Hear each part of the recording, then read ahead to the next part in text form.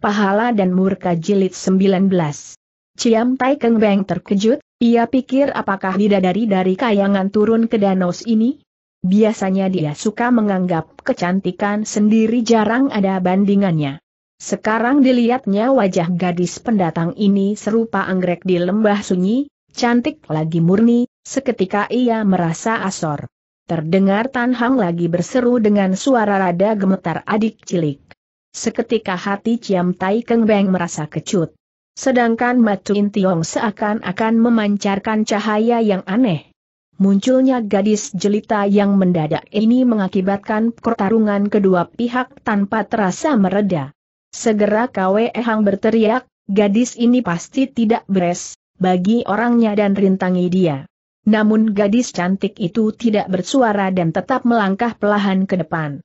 Semangat Tan Hang seketika terbangkit, mendadak ia bersuit dan melayang ke atas seonggok tumpukan batu, lalu melompat lagi ke atas onggokan batu kedua, pedang berputar cepat, sekaligus beberapa musuh dilukainya. Hanya sekejap saja ia sudah menerjang keluar barisan batu, dipegangnya tangan nona jelita itu dan berkata dengan air mata berlinang, adik cilik, kau pun datang kemari. Gadis itu melemparkan tangan Tan Hong, seret, ia lolos pedang dan berseru, di mana kakakku? Gadis cantik ini memang benar In Lui adanya. Setiba di daerah selatan, karena merasa tidak perlu menyamar lagi sekarang dia telah kembali pada dandanan orang perempuan. Kakakmu terkurung di tengah barisan batu, jawab Tan Hong. Marilah kita halau musuh dulu, nanti kita bicara lagi. Meski sebelah lengan sudah buntung, namun Kwe Ehang masih memimpin pertempuran ini, ia menarik lima jago pilihan untuk mencegat Tan Hang dan In Lui. Mereka menganggap In Lui cuma seorang nona lemah, maka tiga di antara kelima jago itu berebut mendahului menerjang si nona. Tak tersangka, sekali In Lui lolos pedang dan berputar, seketika cahaya hijau bertebaran, dalam pada itu dengan cepat sekali Tan Hong juga bergerak, cahaya perak berterbangan. Sinar hijau dan cahaya putih bersimpangan dan menimbulkan warna yang menakjubkan. Ketika sinar pedang yang berwarna-warni itu lenyap, tahu-tahu hiatu kelima lawan ludah tertutup bersuara saja tidak sempat mereka sudah dirobohkan dan terguling ke bawah bukit. Keruan Kwe Ehang terkejut, dilihatnya Tan Hang dan gadis jelita itu telah menyelinap ke dalam barisan batu, keduanya berlari kian kemari, pedang berputar dengan cahayanya yang menyilaukan, di mana-mana seolah-olah bayangan kedua muda-mudi itu melulu. Hanya dalam sekejap saja hampir sebagian besar begundal Kwe Ehang telah dirobohkan, kalau tidak mampus tentu terluka parah. Kalut tidak tahan, segera ia memburu maju dan memapak kedua muda-mudi itu, kedua kapaknya membacok sekuatnya. Tan Hang tertawa panjang, pedang berputar setengah lingkaran dari kiri ke kanan, sebaliknya pedang Den Louis serentak berputar dari kanan ke kiri, perpaduan kedua pedang sungguh mahasakti. Serentak terdengar suara mendering nyaring, kedua kapak calut tergetar balik dan hampir terlepas dari tangan. Padahal biasanya calut sok bangga atas tenaga sendiri yang sangat kuat, tak terduga perpaduan pedang Tan Hang dan In Lui mampu menangkis kapaknya, bahkan terlebih kuat daripada dia. Diam-diam Tan Hang juga terkejut melihat kapak lawan tidak terlepas, serunya, sambut lagi serangan ini. Mendadak pedang menabas dari samping. Cepat calut menangkis, kapak lain terus membacok kaki lawan. Siapa tahu pedang Tan Hong terus berkelebat ke samping, sedang pedang Ren Lui lantas menyambar tiba dari arah yang tak terduga, dengan gugup kapak calut digunakan menangkis, namun pedang Tan Hang lantas menutul punggungnya. Kalut menjerit dan melemparkan kapaknya, darah tersembur dari mulutnya dan jatuh terguling, nyata jiwanya sudah melayang. Keruan Kwe Ehang pecah nyalinya, segera ia bermaksud kabur, namun Ciam Tai Keng Beng sudah mengincarnya, sambil memburu maju dan membentak, lari ke mana? Sekali tusuk dengan pedangnya, langsung tubuh Kwe Ehang tertembus dan binasa.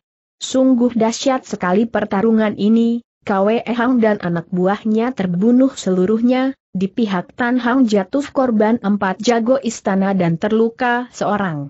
Di antara ketujuh jago istana hanya Tipi Kim Goan dan Sam Hoa Kiam saja yang luput dari cedera. Genting keluarga Ciam Tai juga jatuh korban beberapa orang, Intiong juga terluka oleh pukulan berbisa dan belum jelas bagaimana keadaannya. Sesudah keadaan aman, Tan Hang membawa In Lui ke depan Intiong, tertampak mata Intiong setengah terpejam, lengan bengkak besar kakak dengan air mata berlinang Den Lui mendekap Pintiong. Jangan mengganggu kakakmu, adik cilik, kata Tan Hong. Biarlah dia istirahat saja, marilah kita membawanya pulang ke perkampungan sana. Pukulan berbisa Ang Hoat Ye Auliong Kwe Hang sungguh sangat liai, untung Luekang Intiong cukup sempurna sehingga racun tidak sampai menyerang jantung dan jiwa dapat diselamatkan. Dengan maksud baik Tan Hang mencegah In Lui jangan mengajak bicara dengan In Tiong, namun ia tidak tahan akan emosinya, ia berseru pula, Oh, Koko, bagaimana keadaanmu? Mendadak In Tiong membuka mata dan bertanya, siapa kau Koko? Aku inilah adik perempuanmu, seru In Lui. In Tiong melirik Tan Hang sekejap, dengusnya, engkau adik perempuanku? Hektometer, apakah tidak salah mengenali orang? Oh, Koko, ratapin Lui. Sungguh tega engkau sudah lama ku cari engkau dengan susah payah. Mana aku mempunyai adik perempuan sebaik ini ucap Tiong. Aku benar-benar adik kandungmu, ratapin Lui. Jika engkau tidak percaya, coba lihatlah ini. Segera ia mengeluarkan surat berdarah kulit kambing tinggalan Seng kakek. Antara kedua kakak beradik masing-masing memegang secari kulit kambing seperti itu, dengan sendirinya benda ini merupakan barang bukti otentik yang tidak perlu diragukan lagi. Sekilas pandang Intiong melihat air mata meleleh pada muka In Lui, segera ia menjengek, hektometer, engkau tidak malu memperlihatkan surat berdarah kakek ini? Ia menuding Tan Hang dan hendak bicara pula, namun Tan Hang mendadak melompat maju dan menutup lengan Intiong. Hi, apa yang kau lakukan seru In Lui kaget. Tidak perlu kau cari muka padaku, Tio Tan Hang, kata Intiong. Biarpun mati juga aku tidak sudi menerima budimu. Baru sekarang In Lui tahu apa maksud tindakan Tio Tan Hong itu, rupanya anak muda itu hendak mencegah menjalarnya racun dalam tubuh Intiong. Adik cilik, Lekas kita pulang ke perkampungan sana saja, ucap Tan Hang sambil menarik lengan baju En Lui. Nona itu memandang sekejap kakaknya, mendadak ia mengipatkan tangan Tan Hang, dengan muka pucat ia diam saja. Tentu saja Tan Hang merasa pedih, terpaksa ia menyurut mundur dengan kikuk. Ciam Tai Toanyo menggeleng kepala. Sedangkan Ciam Tai Keng Beng merasa heran dan bingung, Padahal dari nada ucapan Tan Hang ketika di gua batu sana, jelas anak muda itu sangat mesra terhadap adik cilik yang berulang disebutnya, bila mana gadis ini benar buah hatinya, kenapa bersikap dingin begini? Waktu ia berpaling ke sana, dilihatnya Tan Hang lagi menggapai padanya. Dengan sangsi kembang mendekatinya. Terdengar Tan Hang berkata dengan suara perlahan, luka berbisa yang diderita Intiong itu takkan dapat disembuhkan olehnya sendiri. Aku mempunyai obat mujarab keluargaku, akan kuajarkan Carol menyembuhkan dia, hendaknya kau gantikan aku memberi obat ini padanya. Keng menerima obat dan bertanya, siapakah nona itu oh, aku musuhnya, jawab Tan Hong dengan tersenyum kecut. Keng Beng melenggong, apa katamu? Dia musuhmu. Bukan dah musuhku, tapi aku musuhnya, dia memandangku sebagai musuhnya, tutur Tan Hong. Jika begitu mengapa tidak kau obati dia agar permusuhan ini bisa hapus, kata Keng Beng. Tan Hang tertawa, justru aku tidak ingin diketahuinya supaya aku tidak dianggap sengaja cari muka padanya.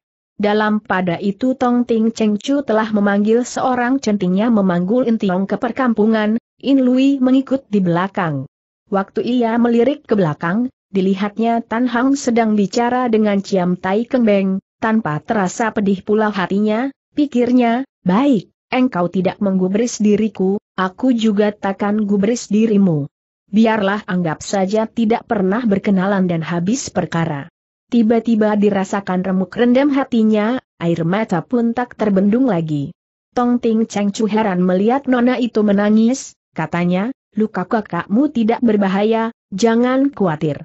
Setiba di Tong Ting San Cheng, hari sudah dekat maghrib. Tong Ting Cheng Chu menaruh Intiong di sebuah kamar dan menyuruh pelayan melayaninya dengan baik. Lalu sibuk menyiapkan makan malam.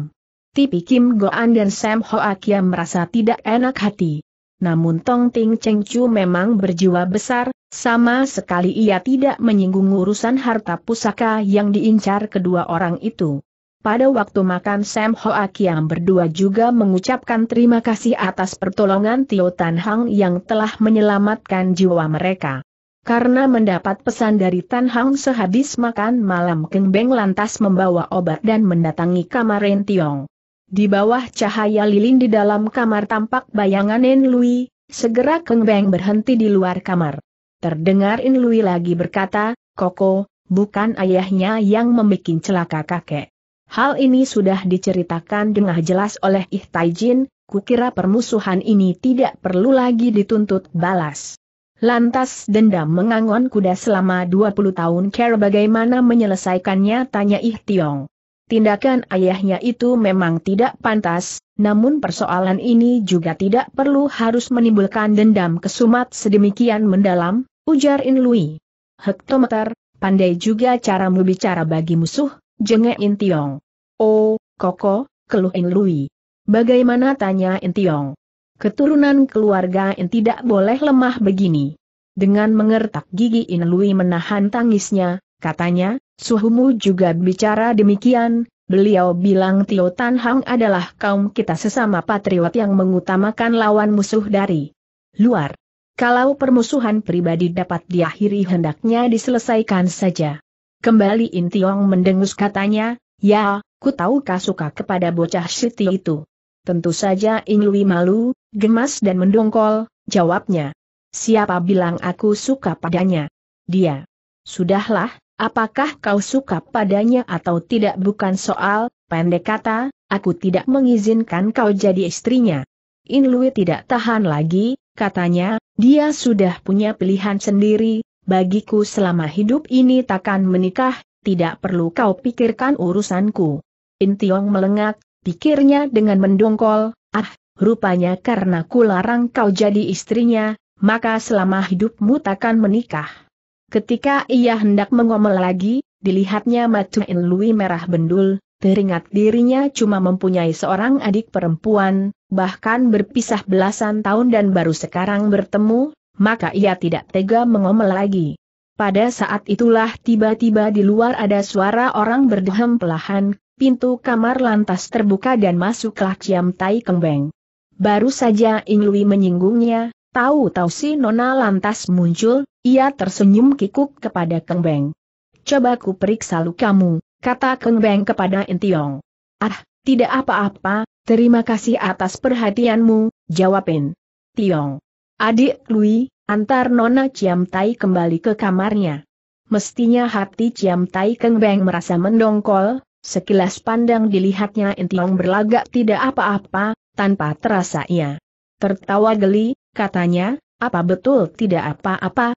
Coba kau tarik napas, karena banyak bicara dan marah kepada Ing Lui tadi, Sebenarnya racun dalam tubuh Intiong telah menjalar lagi, maka ketika ia tarik napas, dada terasa mual dan ingin tumpah. Nah, bila tidak segera diobati, kukira jiwamu takkan bertahan sampai tengah malam nanti, kata Keng Beng.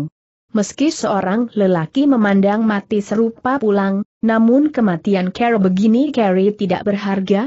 Kalau aku, betapapun aku tidak mau berlagak pahlawan seperti ini. Air muka Intiong rada berubah, seketika lengan terasa kesakitan. Bagaimana Nona Ciam Tai, dapat disembuhkan tanya Ing Lui.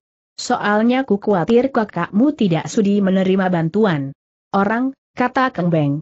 Ucapan ini bernada mengejek, yaitu karena Intiong telah menolak maksud baik Tio Tan Hong itu. Namun Intiong tidak merasakannya, jawabnya, ah, jangan Nona berkata demikian, soalnya aku kan tamu di sini, maka tidak berani merepotkan Nona. Sedangkan hati In Lui lantas tergerak, Ia pikir tentu Tio Tan Hong telah menceritakan segala sesuatu kepada Nona Ciam Tai ini. Kembali hati terasa pedih, tapi demi keselamatan kakaknya, terpaksa ia menahan perasaan dan berkata, bila mana Nona Sudi mengobati Koko, sungguh kami akan sangat berterima kasih. Terima kasih sih tidak perlu, ucap Kembeng, mestinya ia hendak bilang asalkan kalian tidak memaki dan membenci padaku sudah cukup bagiku. Tapi kata-kata ini mendadak ditelannya kembali, dalam benaknya terbayang sorot mata, Tan Hang yang tulus itu, ia pikir tidaklah pantas bila kulukai hati gadis yang dicintainya. Ia melirik In Lui sekejap, diam-diam ia menyesal, betapapun Nona ini memang lebih beruntung daripadaku. Dalam pada itu Keng Beng lantas mengeluarkan obat yang terdiri dari dua macam, yang satu obat dalam, yang lain obat luar. Lalu dikeluarkan lagi sebilah pisau perak dan sebungkus kapas. Ia minta bantuan In Lui menyingsingkan lengan baju In Tiong, dengan pisau ia gores silang di lengan In Tiong, lalu dipencetnya agar darah hitam mengucur, darah berbisa yang berbau busuk dan amis, lalu dibubui obat luar. Tadinya lengan Intiong sudah terasa kaku dan mati rasa, lambat laun dapat dirasakan pijatan jari Ciam Tai Keng Beng yang halus itu dan terasa enak. Intiong dibesarkan di daerah utara, di negeri gurun, jarang dia berdekatan dengan anak perempuan, apalagi gadis secantik molek ini, seketika jantungnya berdebar dan muka terasa panas, ucapnya dengan kikuk, banyak terima kasih atas pertolongan Nona, sungguh tak terlupakan budi kebaikanmu. Tanpa menoleh Ciam Tai Keng Beng berkata dengan tak acuh, ah, tampaknya engkau seorang lelaki gagah perkasa, kenapa jadi lemah serupa anak perempuan? Biasanya Intiong suka anggap dirinya seorang lelaki sejati, jika diumpamakan anak perempuan akan dirasakan sebagai penghinaan, tapi olok-olok Keng Beng ini ternyata diterimanya dengan senang dan muka merah saja. Terima kasih, Cici, obat sudah dibubuhkan, biarlah kulayani Koko, kata In Lui kemudian. Memangnya Ciam Tai Keng Beng hendak tinggal pergi setelah membubuhkan obat, maka ia lantas memberi pesan beberapa hal yang perlu diperhatikan dalam perawatan selanjutnya, lalu tanpa banyak omong ia tinggal pergi. Diam-diam Min Lui heran, jika nona rumah ini datang untuk memberi obat, kenapa sikapnya sedemikian dingin, jangan-jangan apa yang kubicarakan dengan Koko telah didengar olehnya. Karena pikiran ini, hatinya menjadi tidak tentram. Setelah suara langkah orang sudah pergi jauh, dengan terharu baru Intiong berkata, Nona Ciam Tai ini sungguh sangat baik. Hati In Lui tergerak, teringat keakraban dirinya dengan Tan Hang siang tadi, dipandangnya sekejap Seng kakak, hendak bicara tapi urung. Melihat bibirin Lui bergerak dan sorot matanya menampilkan semacam perasaan aneh, serupa kasihan dan juga seperti cemas dan tidak tentram, tentu saja Intiong merasa bingung. Keng tinggal pergi dengan perasaan bimbang, ia menyusuri serambi dan memutar kebalik gunung-gunungan, hendak ditemuinya Tan Hang untuk melaporkan tugasnya. Tempat tinggal Tan Hang itu dibangun di tengah kolam, saat itu bulan sabit baru menongol di ujung langit, di bawah sinar bulan yang remseng suasana terasa tenang dan sunyi. Dari jauh kelihatan Tio Tan Hang dengan bajunya yang putih bersih lagi berdiri bersandar lankan dan memandangi bunga teratai di dalam kolam. Waktu Keng Beng berhenti di belakang gunung-gunungan, Didengarnya Tan Hang sedang bersenandung membawakan syair pujian Gakuno yang memuja tanah air yang jaya. Habis itu ia berdeklamasi pula membawakan syair merindukan kekasih, akhirnya bergumam, Ai, adik cilik, kurlah berbuat apa pun bagimu. Biarpun tersiksa batinku karena sikapmu yang ketus itu juga aku tidak menyesal. Ciam Tai Keng Beng terharu melihat kemurungan Tio Tan Hang itu pikirnya, kiranya sedemikian mendalam cintanya terhadap Ping Lui. Ai bila mana ada orang bersikap demikian padaku, umpama aku harus mati seketika juga rela. Lalu terpikir lagi olehnya, sayang kedua keluarga mereka terikat permusuhan sedemikian mendalam dari percakapan mereka kakak beradik tadi, tampaknya Entiong sangat kukuh pada pendiriannya dan ingin menuntut balas, Lantas bagaimana baiknya? Dalam sekejap itu pikirannya lantas bergolak juga, sungguh ia mengharapkan cinta kasih antara Tio Tan Hang dan In Lui dapat terlaksana dengan bahagia. Tapi ketika dalam benaknya timbul bayangan Tan Hang dan In Lui yang mesra, tiba-tiba ia merasakan pula seperti kehilangan apa-apa. Angin malam mendesir dingin, Ciam Tai Keng Beng berdiri termenung di balik gunung-gunungan itu, entah berselang berapa lama, waktu ia memandang lagi ke sana, ternyata Tio Tan Hang sudah tidak tertampak lagi. Mungkin dia tidak sabar menunggu dan masuk kamar untuk tidur, demikian pikir Keng Beng. Baru saja ia hendak melangkah ke depan, tiba-tiba seorang muncul, ternyata In Lui adanya. Segera Keng Beng menyongsongnya dan menegur. In Cici, sudah malam, belum tidur? In Lui tampak melengak demi melihat Keng Beng di situ, jawabnya dengan samar-samar, Oh, aku baru saja meladeni koko tidur, sekarang ingin jalan-jalan sebentar. Bagaimana keadaan luka kakakmu tanya Keng Beng. Terima kasih, care pengobatanmu sungguh sangat hebat, puja In Lui. Bengkak lengan kakak sekarang sudah banyak berkurang, Tampaknya besok sudah gempat bangun. Keng Beng tersenyum, pelahan ia pegang bahu Win Lui dan membisikinya, Cici, jangan berterima kasih padaku, tapi engkau harus berterima kasih kepada Tan Hong. Apa katamu tanya In Lui? Obat itu pemberiannya, Carol mengobati juga dia yang mengajarkan padaku, tutur Keng Beng. Ah, In Lui hanya bersuara singkat dan tidak dapat bicara seketika. Terdengar Keng Beng berkata pula, kemarin dia melihat itu aku memaksamu mengeluarkan surat berdarah, maka dia enggan diketahui kalian bahwa dia yang memberi obat dan sengaja disalurkan melalui tanganku. Baru sekarang Den Lui tahu duduknya perkara, pikirnya, kiranya yang dibicarakan mereka kemarin adalah urusan ini, jadi akulah yang salah paham. Bila teringat kepada maksud baik Tio Tan Hong, diam-diam Min Lui merasa terharu, tanpa terasa ia berkata, Ai, kenapa dia berbuat begitu? Kembali Keng Beng tersenyum dan berkata jika aku benar-benar menyukai seseorang, aku pasti juga akan berbuat demikian. Asalkan pihak lain merasa bahagia, apalah artinya bila diri sendiri menderita sedikit. Kembali Inlui melenggong, pikirnya Nona ini baru saja berkenalan, kenapa terus bercanda denganku?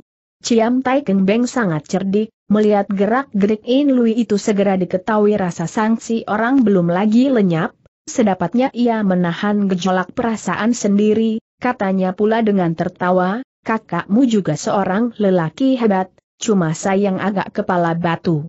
Bahwa nona ini memuji kakaknya, hal ini rada di luar dugaan In Lui, ia hanya tertawa saja.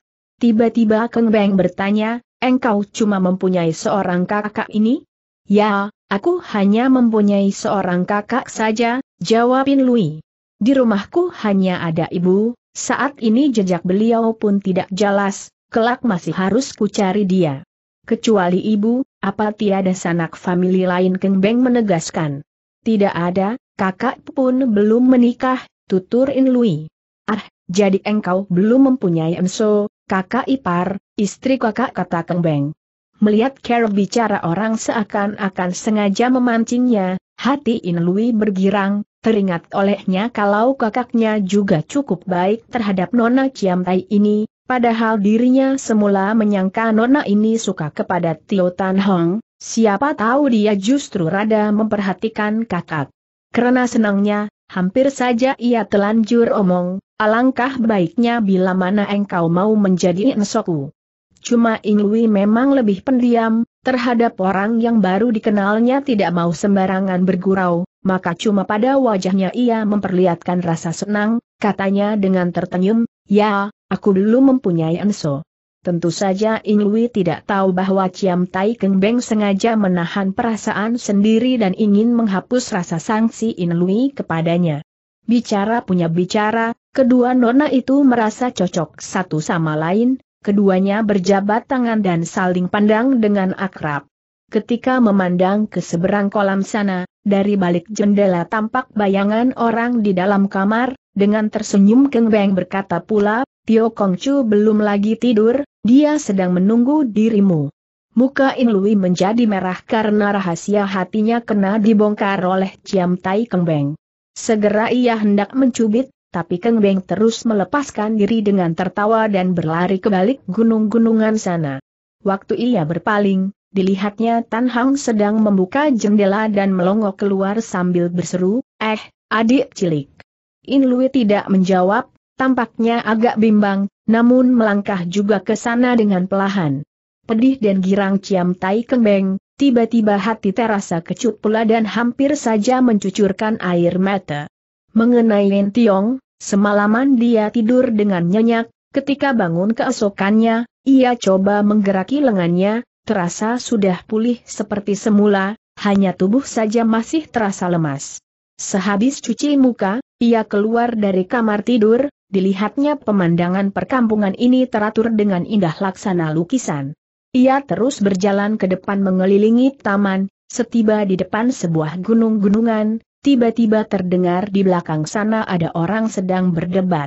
Seorang lagi berkata, harta pusaka ini sudah turun-temurun kita jaga bagi cukong tua dan sekarang malah akan diserahkan kepada musuh beliau, diberikan kepada raja keluarga Cu, bila mana diketahui cukong tua di alam baka beliau pasti akan marah dan penasaran. Jangan kau pikir begitu, ujar suara seorang tua, justru benar seperti apa yang dikatakan Cukong muda, pertengkaran dahulu adalah dua keluarga sesama bangsa, sebaliknya sekarang adalah antara bangsa kita menghadapi penjajahan bangsa asing, urusan harus kita bedakan penting dan tidak, kau lebih utama bersatu padu menghadapi musuh dari luar. Lalu seorang lagi berkala, Aku tidak percaya Raja keluarga Cu itu benar-benar mau melawan penjajahan dari luar. Suara orang tua tadi berkata pula, terdesak oleh situasi, mau tak mau dia harus mengadakan perlawanan. Apalagi ada pembesar setia serupa Ihkiam dan sebagainya. Pendek kata tekadku sudah bulat untuk taat kepada perintah Cukong muda, hendaknya kalian jangan banyak omong lagi. Dari suaranya dapat dibedakan oleh Entiong, Suara orang tua itu ialah Tong Ting Cheng Chu.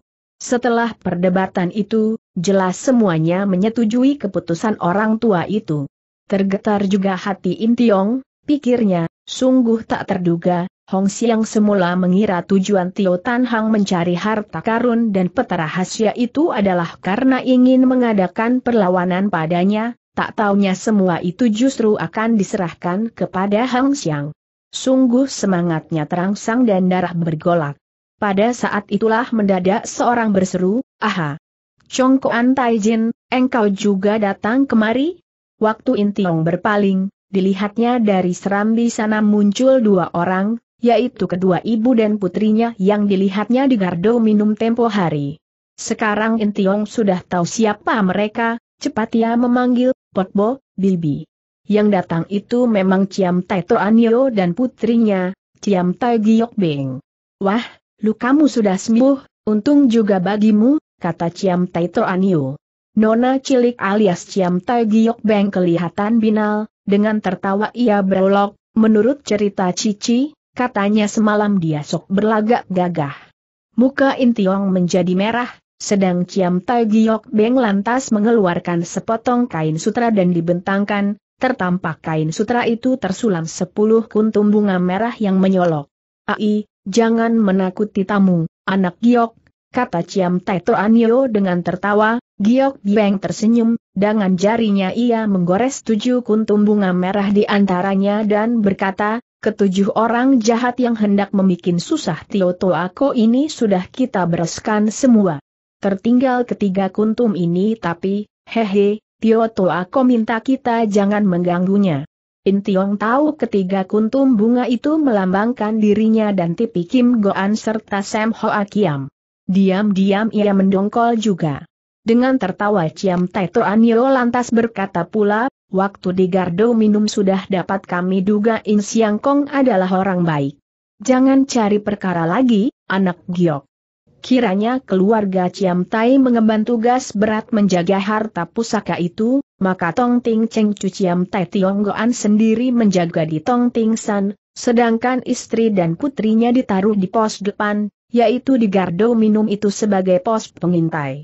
Sebelum datang di Tong Ting Sanceng, biarpun Tan Hang juga tidak tahu hubungan antara ibu dan anak itu dengan Tong Ting Ching Chu. In Siang Kong, kata Chiam Tai Anio kemudian, mari kita melihat sesuatu. In Tiong ikut dia melalui serambi panjang dan memutar ke balik gunung-gunungan, mendadak pandangannya terbeliak, tertampak di tanah lapang sana penuh tertimbun harta mestika, emas intan dan batu permata yang tak ternilai jumlahnya. Tong Ting Cheng Chu dan beberapa orang yang berdandan sebagai petani berdiri di samping sana. Kebetulan kedatanganmu, Intai Jin, ucap Tong Ting Cheng Chu.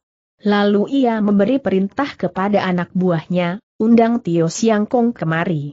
Sebenarnya Tong Ting Cheng Chu memanggil Tan Hang sebagai Xiao Chu Jin atau majikan muda, tapi Tan Hang merasa keberatan, maka sekarang memakai panggilan Siang Kong atau Tuan Muda. Tidak lama kemudian tampak Tan Hang dan In Lui muncul dari sana, begitu melihat Seng kakak berada di situ, segera In Lui memperlambat langkahnya hingga ketinggalan di belakang Tan Hang.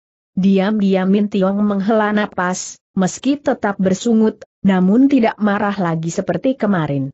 Bagaimana keadaan luka In Heng tanya Tan Hang? Mestinya In Tiong tidak mau menjawab, tidak urung ia mengangguk dan berucap, tidak perlu khawatir, aku masih hidup. Tan Hang tersenyum, katanya, syukurlah kalau begitu. Padahal ia yakin obatnya pasti cespleng, pertanyaannya hanya sebagai basa-basi saja. Tong Ting Cheng Chu lantas berkala, harta pusaka ini sudah kami jaga turun-temurun, sekarang dapatlah kami terbebas dari tugas. Intai Jin, setelah istirahat lagi dua hari ku harap dapat mengangkut harta pusaka ini ke kota raja dan diserahkan kepada rajamu untuk biaya pasukan. Keterangan Ang Hoat Ye Auliong kemarin ternyata tidak dusta, kata Tan Hong. Kini sudah ku peroleh berita yang meyakinkan, pasukan Watze memang benar telah menyerbu masuk Ganbun Koan, kedua negara sudah perang.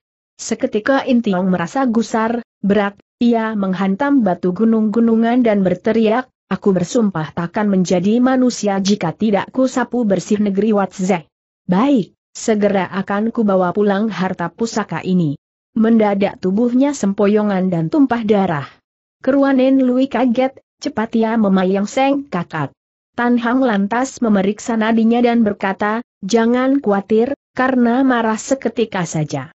Dua hari lagi In Heng akan sembuh seluruhnya, walaupun situasi agak genting, tapi terlambat beberapa hari juga tidak menjadi soal.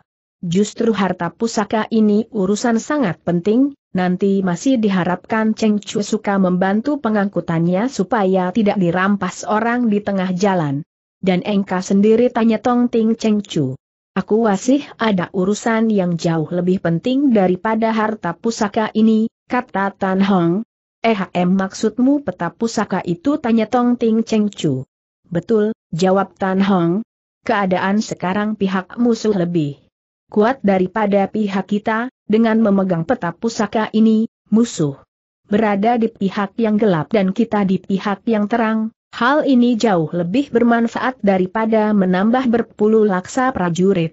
Mendadak Tauk Ting Cheng Chu menggeleng kepala, wajah menampilkan rasa khawatir.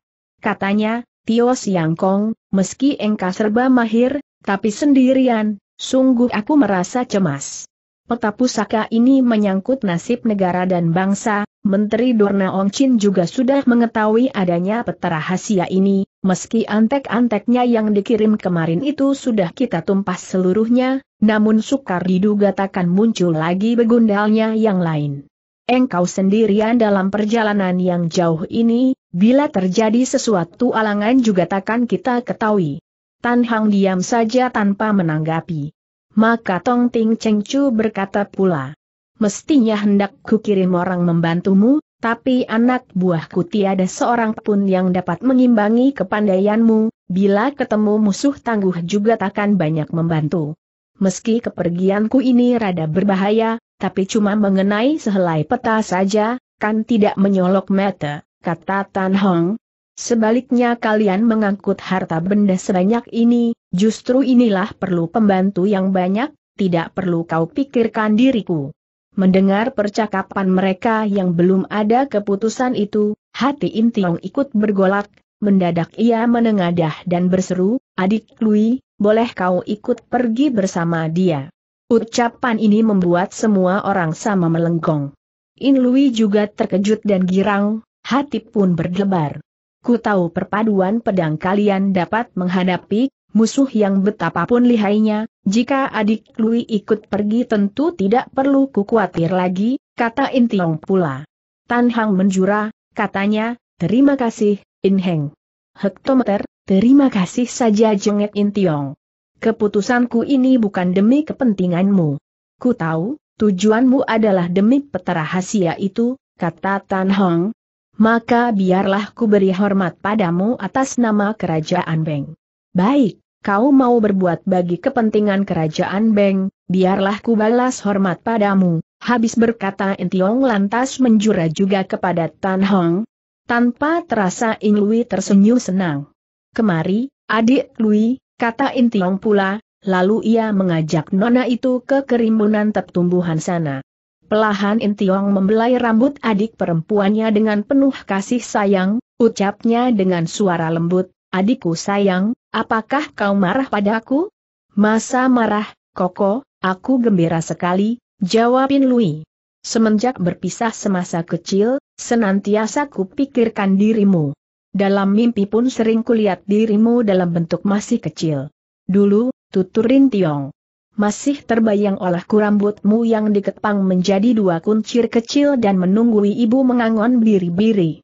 Gembira dan terharu Inlui, Ucapnya dengan menangis, ku tahu koko sayang padaku, tiba-tiba Intiong menghela napas, katanya. Kemudian, untuk pertama kalinya kita bertemu di Jing Leong Kiap, waktu itu engkau menyamar sebagai pemuda dan membantu pihak musuh bertempur denganku, pada saat itu juga sudah timbul pikiranku seperti sudah kenal dirimu, rasanya serupa sanak keluargaku sendiri, betapapun aku tidak sampai hati bertempur mati-matian denganmu. Ya, aku pun berpikir begitu ketika itu, rupanya ada kontak batin antara kita, ucapin Lui. Dan kemarin, setelah ku tahu engkau memang betul adik perempuanku, sungguh aku sangat gembira dan juga pedih, kata Intiong pula. Soalnya, Ai, ternyata engkau sedemikian akrab dengan dia. Tergetar hati In Lui, ia menunduk dan mencucurkan air mata. Adik Lui, ilmu pedangmu sudah cukup kuat untuk menjelajah. Kangou, cuma sayang pribadimu agak lemah, kata Intiong. Adik Lui, sebagai anggota keluarga In, kuharap kau kuatkan hatimu untuk menyanggupi sesuatu permintaanku. Muka In Lui berubah pucat, jawabnya lirih, silahkan Koko bicara. Dendam kepada keluarga Tio boleh tidak kutuntut lagi kepada Tio Tan Hong, kata Intiong tapi apa pun juga dia adalah putra musuh yang dibenci oleh kakek, maka selama hidup ini tidak boleh kau jadi istrinya. Bahwa kau bantu dia mengantar peta pusaka itu adalah demi kerajaan Beng kita. Dalam perjalanan hendaknya waspada, jangan sampai tertipu oleh mulut manisnya. Jika sampai kasuka padanya, maka hubungan kakak beradik antara kita akan putus. Nah, adik Lui, tegasnya ku larang kau jadi istrinya, hanya ini pesanku, mau kau turut atau tidak terserah padamu. Coba katakan.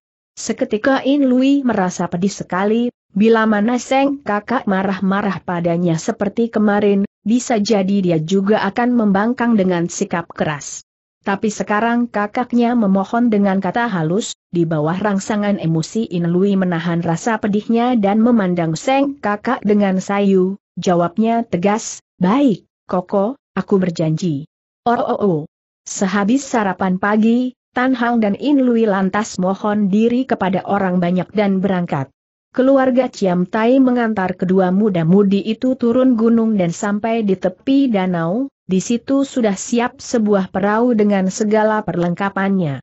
Dengan perasaan berat In Lui berkata, Enci Keng Beng, harap engkau suka menjaga kakakku, sampai bertemu pula kelak di kota raja.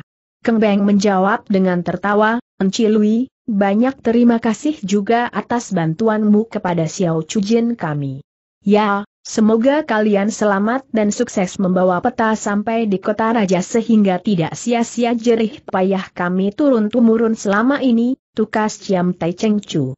Setelah mengalami berbagai persoalan sekarang dapat berkumpul dengan In Lui, tentu saja Tan Hang sangat terhibur, segera ia meluncurkan perahu sambil bersenandung.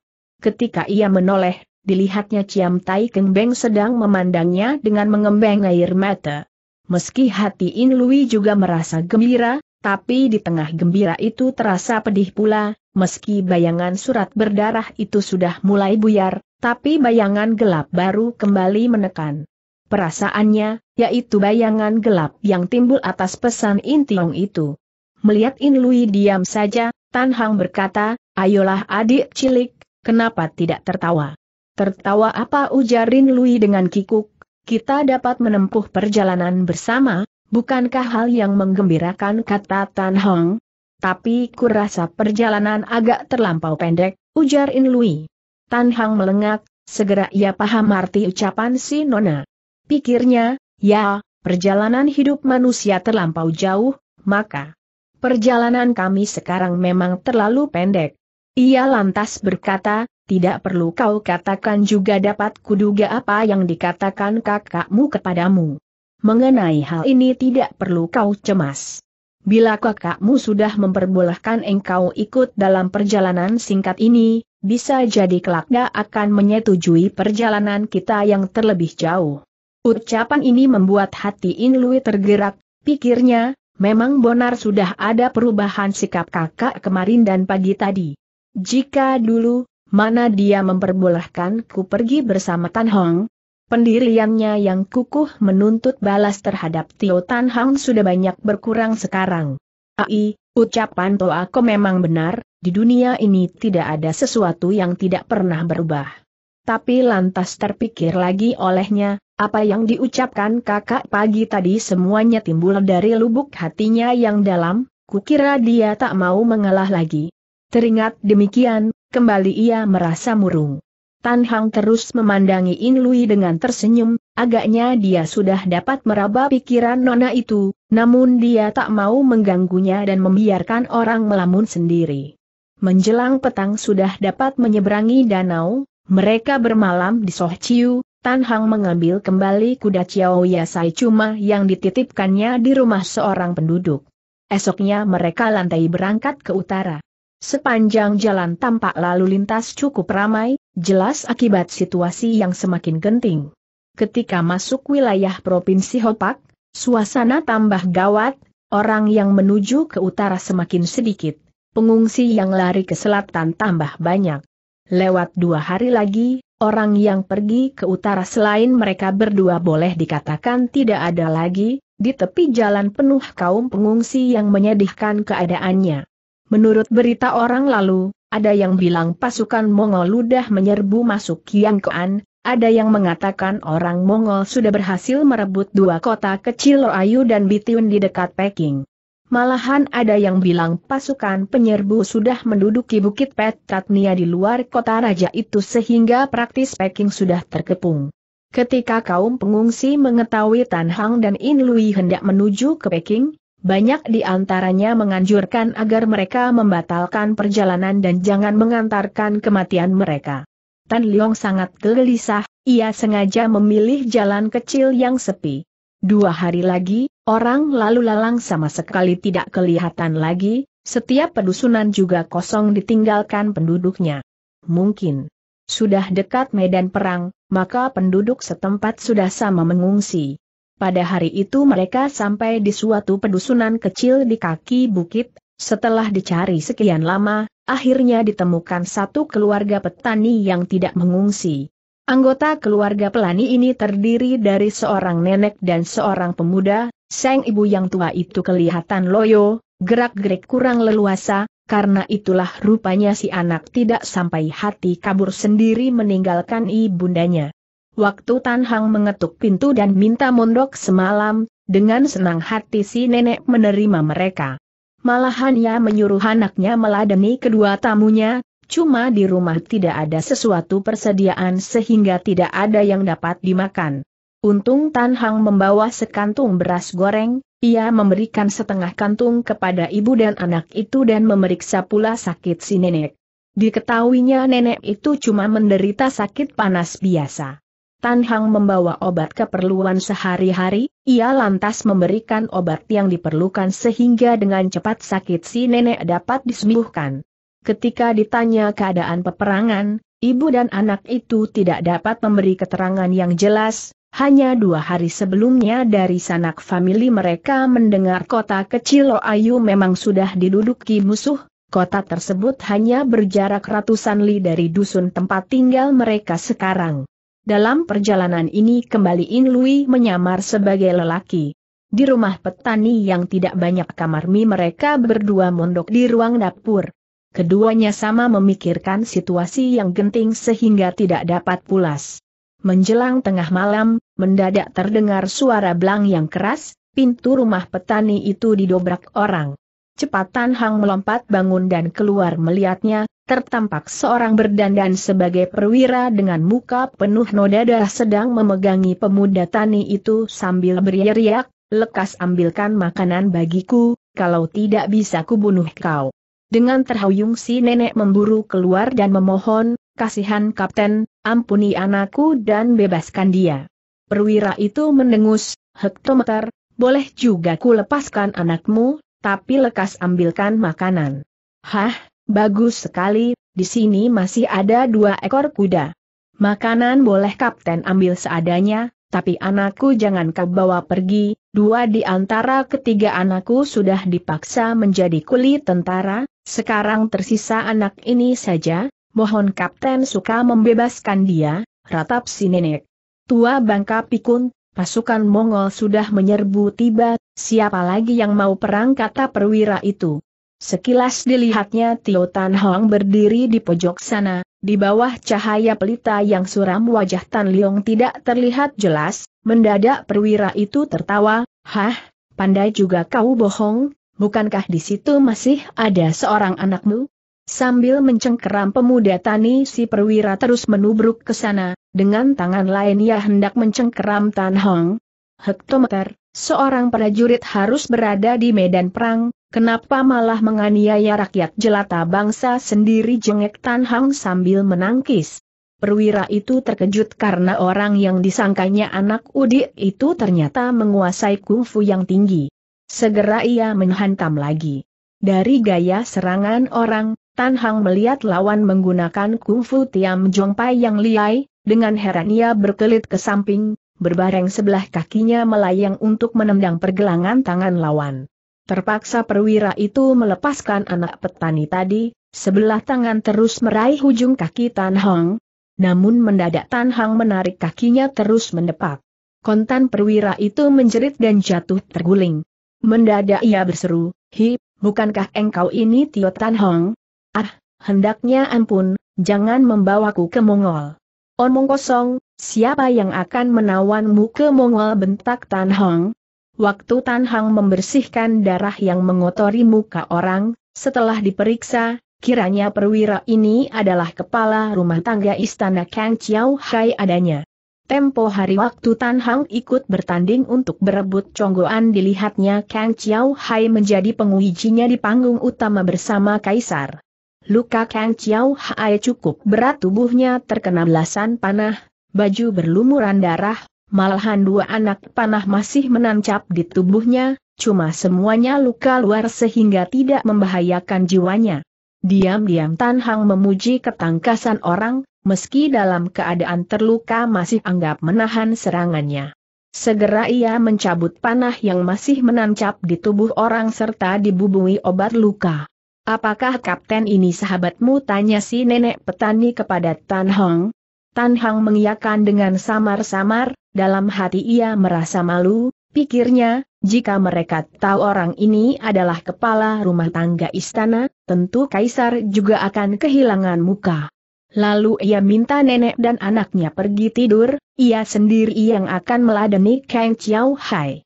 Segera ia mengambil sebagian beras goreng dan diaduk dengan air minum, diberikannya kepada Kang Chiao Hai dan berkata, Kang Chong Kuan, silakan makan saja seadanya.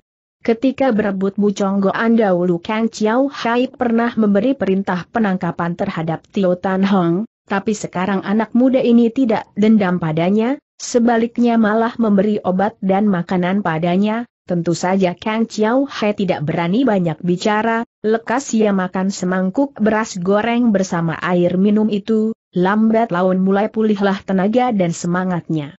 Kemudian Tan Hong bertanya, Kang Chong Koan, Kenapa engkau tidak ikut mendampingi Hong Xiang, tapi lari sendirian ke sini? Ai, seketika takkan habis ku ceritakan, tutur Kang Chiao Hai. Semula aku memang ikut Hong Xiang, pasukan besar kita sebesar 50 laksa prajurit telah hancur seluruhnya, jika aku tidak lekas kabur tentu jiwaku pun akan melayang. Apa katamu jadi semula engkau memang mendampingi Hong Xiang Tan Hang menegas. Apakah mungkin pasukan Mongol sudah masuk kota raja? Tidak, jawab Chiao Hai. Hong Xiang sendiri yang memimpin pasukan dan melawan musuh, saat ini berada di luar Hoayu dan terkepung. Hah, bisa juga Hong Xiang memimpin pasukan sendiri? Atas usul siapa beliau bertindak demikian? Usul Long Kong Kong, tutur Kang Chiao Hai. Maksudnya Ong Chin. Tan Hang menjadi gusar, berak, ia hantam permukaan meja hingga ujungnya sempal, teriaknya, keji amat ke para Tong Chin ini. Keng Chiao Hai tidak berani bersuara. Kenapa tidak Ih Tai Jin yang disuruh memimpin pasukan tanya Tan Hong? Urusan pemerintah mana ku tahu, ujar Keng Chiao Hai. Menurut apa yang kudengar konon disebabkan Ih Kiam adalah pembesar sipil dan tidak dapat memimpin tentara. Hektometer, Lantas bagaimana sekarang setelah tentara dipimpin mereka tanya Tan Hang pula. Pasukan di bawah pimpinan Hong Xiang dan Ong Kong Kong berangkat dari kota raja pada pertengahan bulan 7, waktu itu sepanjang jalan sering hujan lebat, prajurit tidak diberi perbekalan baju tebal sehingga beberapa puluh ribu mati kedinginan dalam perjalanan, jadi sebelum berhadapan dengan musuh pasukan kita sudah kacau lebih dulu. Ketika terjadi kontak pasukan kedua pihak, tentu saja semangat tempur pasukan kita runtuh dan kalah habis-habisan. Terpaksa Hong Xiang memerintahkan mundur dan akhirnya terkepung di Tubokpo. Makin mendengarkan cerita itu makin gemas hati Tio Tan Hong, sebabnya Raja Beng sampai maju sendiri ke garis depan dan mengalami kekalahan besar, semua ini jelas tipu muslihat yang telah diatur oleh Ong Chin. Didengarnya Kang Chiao Hai berkata pula, untung aku dapat melihat gelagat, tengah malam ku terjang keluar kepungan musuh, kalau tidak, bila tetap terkepung di Tubokpo, andaikan tidak terbunuh musuh juga pasti akan mati kelaparan. Mendadak Tan Hang mendengus, hektometer, bungkusan besar apa yang kau panggul ini air muka Kang Chiao Hai berubah hebat. Tiba-tiba Tan Hong turun tangan, Secepat kilat ia rampas rangsel orang dan dibanting ke lantai. Seketika isi rangsel bertebaran, ternyata semuanya adalah Kim Goan Po atau emas lantakan. Hektometer, rupanya yang kau pikirkan adalah harta benda daripada tugas, jengek Tan Hong. Keng Chiao Hai cengar-cengir, katanya, sedikit harta simpananku ini adalah hadiah Hong Siang selama ini dan bukan harta tidak halal. Atas pertolonganmu sekarang, boleh juga kita bagi menjadi dua. Hektometer, percuma kau jadi congkoan istana, malahan berani menyinggung kebaikan Hong Siang padamu, nyatanya pada saat genting kau tinggalkan junjunganmu dan menyelamatkan diri sendiri, dan peratan Hong. Keng Chiao Hai melenggong, ia tahu Tio Tan Hang adalah musuh Raja Beng, tak terduga anak muda ini berbalik mendamperatnya. Terdengar Tan Hong berkata pula, malam ini boleh kau tinggal di sini, esok pagi boleh kita menuju kembali ke Tubokpo. Hah, apakah hendak mengantarnya nyawa kata Chiao Hai? Kau makan gaji pemerintah, umpama betul mengantar nyawa. Juga pantas, kata Tan Hong. Apalagi yang akan mengantar nyawa. Bukan cuma dirimu saja, biar kami ikut antar nyawa bersamamu. Muka Kang Chiao Hai berubah pucat, mendadak ia berjongkok dan memungut setiap potong lantakan emas itu. Tan Hang dan In Lui hanya mendengus saja tanpa merintangi perbuatan orang. Beberapa potong emas itu menggelinding keluar remper rumah, Di situ tertambat kuda putih Tan Hang dan kuda merah In Lui. Ketika Kang Chiao Hai memungut emas yang jatuh dekat kuda, mendadak ia melompat bangun sambil memegang leher kuda putih. Giao Yasai cuma itu sangat tangkas dan cerdik, mendadak kuda itu meringkik sambil menyepak ke belakang. Tan Hang juga membentak, kau mau apa? Seketika Kang Chiao Hai tidak mampu mengatasi kuda putih itu, segera ia melompat ke atas kuda merah In Lui, serunya dengan tertawa, Haha orang Shi Kang ingin hidup senang beberapa tahun lagi, aku tidak mau ikut mengantar nyawa bersama kalian. Ia tusuk bokong kuda merah itu, karena kesakitan, segera kuda itu membedal secepat terbang dan menerjang keluar, hanya sekejap saja sudah menghilang dalam kegelapan malam kejar dia, Toako, seru Ing Lui. Tan Hang menggeleng, katanya, orang semacam itu, biarpun kita bekuk kembali juga tidak ada gunanya. Keduanya menjadi gelisah mengingat situasi medan perang yang genting itu, sebelum Fajar menyingsing mereka lantas mohon diri kepada ibu dan anak petani itu, keduanya menunggang kuda putih itu bersama dan dilarikan dengan cepat. Tidak lama terdengarlah suara gemuruh di kejauhan. Waktu Tan Hang mendaki suatu tempat ketinggian dan memandang jauh ke sana, terlihat di depan sana Panji berkibar, di mana-mana penuh prajurit Mongol. Wah, kita tak dapat lewat. Keluh Lui jangan khawatir, aku punya akal, kata Tan Hong, ia suruh Lui sembunyi di situ, ia sendiri lantas membedal kuda ke tengah pasukan musuh. Tentu saja Lui kebat-kebit. Tidak lama kemudian tertampak Tan Hang kembali dengan membawa dua perwira Watzek. Keruanen Lui merasa heran. Kiranya Tan Hang mahir bahasa Mongol, Padanya masih tersimpan panah tanda pengenal pasukan Watze yang dibawanya ketika lari dari Mongol dahulu, kepada kedua perwira itu ia mengaku sebagai metu-metu yang dikirim kerajaan Watze sebelum terjadi perang ia melaporkan bahwa di dekat bukit ada orang yang mencurigakan dan kedua perwira itu diminta coba memeriksa ke situ.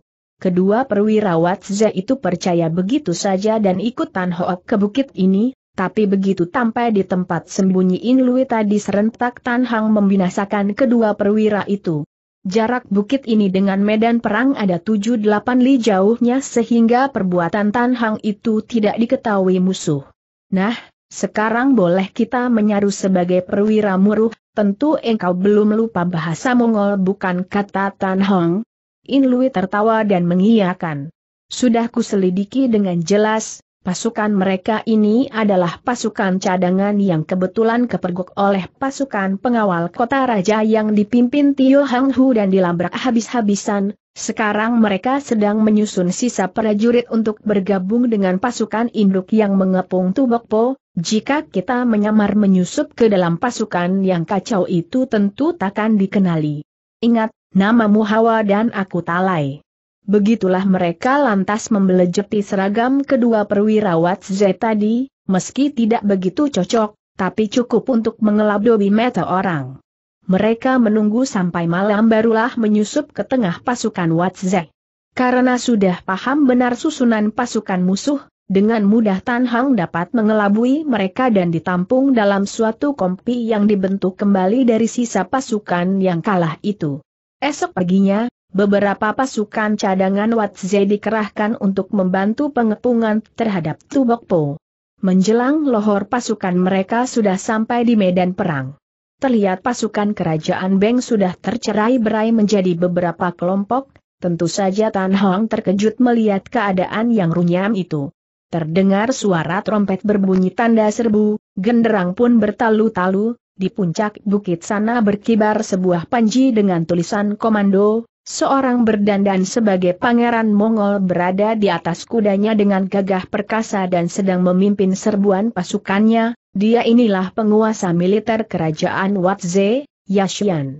Kelompok pasukan Beng yang tercerai-berai itu menerjang kian kemari dan selalu terbendung oleh pasukan Watze yang jauh lebih kuat.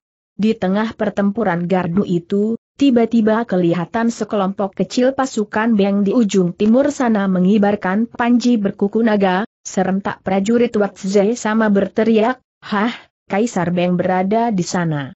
Sungguh tidak kepalang gemas Tan Hong ia pikir kepara Tonggin itu benar-benar manusia berhati binatang, jelas dia sengaja, memberi tanda panji itu agar musuh tahu di mana beradanya Kaisar Beng. Panji kebesaran itu memang benar menandakan tempat beradanya Raja Beng, yaitu Kitin. Dia sudah terkepung sehari semalam di Tubokpo, Tampaknya pasukannya sudah runtuh dan sukar bertahan lagi, selagi dia berunding dengan Tio Hang Hu untuk mencati jalan menerjang keluar kepungan musuh, tiba-tiba terlihat Tong Chin melapor dengan muka pucat, wah, celaka, Hong Xiang, pasukan pelopor musuh sudah menerjang tiba, lekas minta Tio Tong Ling keluar menahan mereka. Jangan khawatir, Hong Xiang, seru Tio Hang Hu. Biarpun mati juga akan kucarikan jalan keluar bagi Hong Xiang. Cepat ia berdiri dan melangkah keluar perkemahan.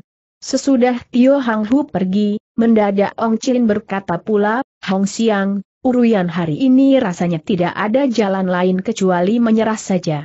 Hendaknya Hong Xiang suka mengadakan perdamaian dengan pasukan musuh. Keruan Kitin terkejut, Hei, kenapa kau bicara demikian? Seketika Ong Chin menarik muka dan membentak, di mana pengawalku?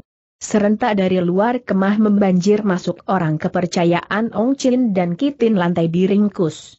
Dalam pada itu Tio Hang Hu telah berlari keluar kemah, tiba-tiba dilihatnya Panji pengenal Hong Siang berkibar di luar, segera ia menyadari tipu keji Ong Chin itu, baru saja ia bermaksud lari masuk lagi ke kamar untuk melindungi Kaisar, namun kedatangan pasukan Wat Zhe sangat cepat, dalam sekejap saja ia sudah terpotong dan terkepung. Sementara itu Win Lui ledang mendesak Tan Hong, Ayo, Toako, lekas kita menolong Hong Xiang dan membunuh Hong Chin. Namun pasukan mereka terhimpit di tengah pasukan induk, biarpun mereka menunggang kuda tangkas juga sukar menerjang ke sana. Urusan sekarang sukar untuk diselesaikan dengan main kekerasan, marilah kita melihat keadaan dulu di tempat ketinggian, kata Tan Hong. Dari jauh terlihat Ong Chin meringkus Kaisar Beng di atas kuda, Ong Chin sendiri membawa bendera putih. Ada beberapa jago pengawal yang setia kepada raja bermaksud menolong junjungannya, tapi tertahan oleh pengawal Ong Chin. Mendadak terdengar suara orang berteriak, Hoan Tiong tampak menerjang maju ke sana, namun ia dikerubut oleh pasukan Wat Zhe dan pengawal Long Chin. Di bawah hujan panah Hoan Tiong putar senjata gandengnya untuk melindungi kepala dan hulu hati sendiri tanpa menghiraukan bagian lain, maka bahu, punggungnya sudah tertancap belasan anak penah, namun dia tetap tidak roboh dan masih terjang ke depan seperti kesetanan. Melihat kegagahan orang, Ong Chin terkejut, serunya, Hei, Hoan Chiang Kun, ada urusan apa boleh bicara saja. Tapi Hoan Tiong lantas membentak, bangsat, biar ku mampuskan kau. Berbareng gandenya lantas menghantam, kontan Ong Chin terguling. Sambil terbahak Hoan Tiong lantas putar ganden dan menghantam pula kepala sendiri, ia pantang menyerah, lebih baik mati daripada tertawan musuh. Dalam pada itu pasukan Wat Zhe sudah membanjir tiba, segera Kaisar Kitin tertawan. Di bawah terjangan pasukan musuh, beberapa pembesar setia yang ikut perang bersama Kaisar juga gugur terbunuh dan terinjak. Kuda musuh. Dalam sejarah pertempuran ini tercatat sebagai peristiwa Tubokpo. Melihat Kaisar tertawan musuh, saking cemasnya Tio Hang Hu tumpah darah, dengan murka ia putar goloknya dan sekaligus membinasakan belasan musuh, tapi prajurit musuh makin lama makin banyak, mana dia mampu menerjang keluar. Mendadak ia berteriak terus hendak membunuh diri. Tapi sebatang anak panah menyambar tiba dan mengenai pergelangan tangannya, goloknya jatuh ke tanah, ia pun tertawan musuh. Setelah mendapat kemenangan total pasukan Watze lantas membunyikan tambur kemenangan dan tanda berhenti bertempur untuk membersihkan medan perang dan pasang tenda serta berpesta pora merayakan kemenangan mereka. Tan Hang dan In Lui juga bercampur di tengah pasukan Watze dan mengikuti pembicaraan orang Mongol. Terdengar seorang perwira berkata, malam nanti di kemah pimpinan pasti ada tontonan menarik sayang pangkatku belum memenuhi syarat untuk ikut menyaksikan sandiwara menarik itu. Sandiwara menarik apa tanya seorang perwira lain. Konon malam nanti pimpinan kita akan memaksa Raja Beng menjadi pelayan, kan lucu dan menarik tutur perwira pertama tadi. Seorang lagi lantas menanggapi, Raja Beng sudah kita tawan, kukira peperangan ini pun selekasnya akan berakhir dan kita pun dapat pulang untuk merayakan tahun baru di rumah. Temannya berkata, ah, jangan bicara seenaknya, negeri Tiongkok ini sangat luas dan manusianya banyak, takkan habis-habis dibunuh.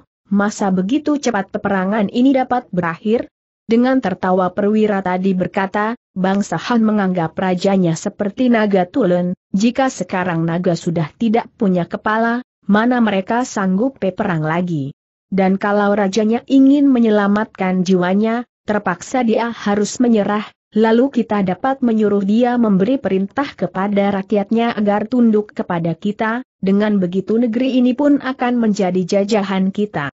Sungguh perasaan Tan Hang seperti dibakar, pikirnya, jika terjadi demikian memang betul sangat menyedihkan.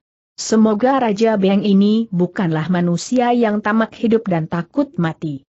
Terdengar perwira yang pertama tadi lagi berkata, pasukan Beng tidak perlu ditakuti, Malahan Kim Chu Chechu yang bercokol di luar Ganbun Koan itu sampai saat ini masih berkeliaran dan sukar dibasmi, inilah yang harus dipikirkan.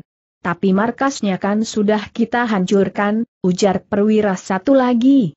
Meski si tua bangka Kim Chu Chechu dan putranya dapat lolos kukira mereka pun tidak besar artinya bagi kita.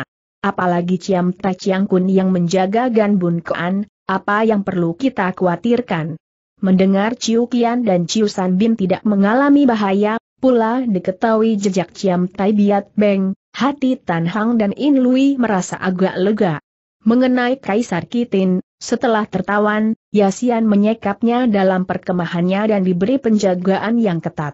Selain itu ditugaskan lagi tiga jago pengawal kelas tinggi untuk mengawasi tawanannya ini. Salah seorang jago kelas tinggi ini adalah jago andalannya, yaitu Okito, orang ini selain lihai ilmu pedangnya Hang Lui Kiam Hoat, otaknya juga bisa berpikir. Setelah menjadi tawanan, tentu saja Kaisar Kitin merasa malu, gemas, menyesal dan juga murka, ketika didengarnya malam nanti Yasian akan menyuruhnya menjadi pelayan, ia tambah malu dan gemas tak terkatakan. Perataannya bergolak dengan hebat memikirkan apa yang harus diperbuatnya nanti. Ia pikir bila mana dia jadi disuruh melayani pembesar musuh, itu berani menurunkan martabat negara dan bangsa dan akan ditertawakan dalam sejarah. Jika dia menolak permintaan musuh, mungkin akan membahayakan jiwanya pula seketika ia menjadi bingung. Pada saat itulah tiba-tiba ada orang berseru di luar kemah, Taisu, Perdana Menteri, mengundang Okito Chiang Kun untuk bicara di markas. Lalu seorang perwira Watze masuk dengan membawa panah tanda perintah.